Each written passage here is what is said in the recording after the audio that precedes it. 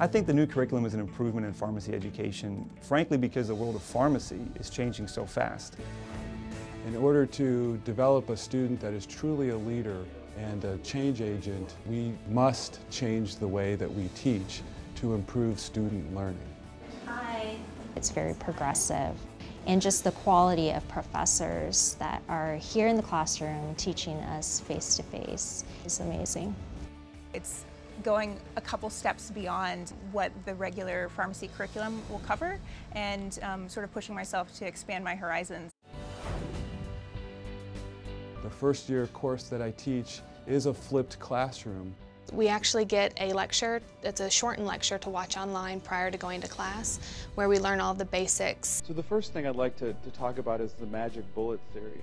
Uh, and then in class, the students and I engage in various types of activities related to how that information they learned in that video can be applied to patient care. Because you're not just left on your own to apply it for the first time. You get that experience before you're at your hospital rotation or your drug information rotation. You have all of that information going into that as opposed to getting there for the first time and then trying to figure it out on your own.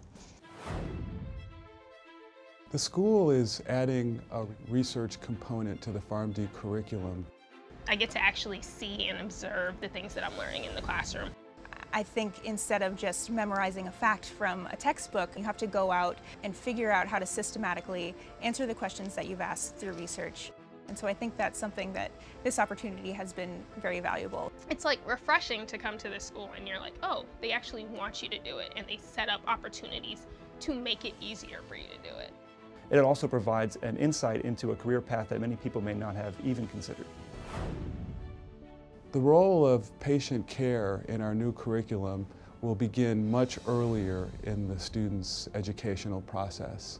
I think one of the most surprising things I've learned is about how important it is to be genuine when we deal with our patients. I had an experience where I was helping a patient with pain management. She really felt like we weren't treating her pain effectively, but she was able to see that I was genuinely trying to help her and I was able to diffuse a lot of these angry emotions that the person had.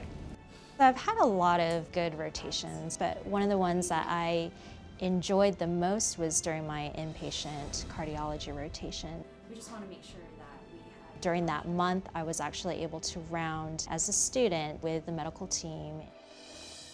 UNC Eshelman School of Pharmacy has got to be one of the most wonderful institutions there are to practice pharmacy. Professors really care about the students, they're very knowledgeable, and they really prepare you well for when you go out there and, and start practicing pharmacy and interacting with patients and with other healthcare providers. They really prepare you with the knowledge base that you need and the experiences you need to really perform it at the highest level when you become a pharmacist. Now, I feel that the administrators here at the UNC Eshelman School of Pharmacy have to be commended for the way they've involved students in developing the new curriculum. From the very beginning, they've asked for input and they've offered positions for students to sit on steering committees and subcommittees to try and lay out and build the foundational philosophies. And that was a promise that was made by the dean when we were here for our first interviews when he asked us as students to hold this school and its administrators accountable to providing the very best pharmacy education in the world. And so we as students have seen that as a challenge and so I think we've been happy to step up and offer our guidance and our support in implementing the new curriculum.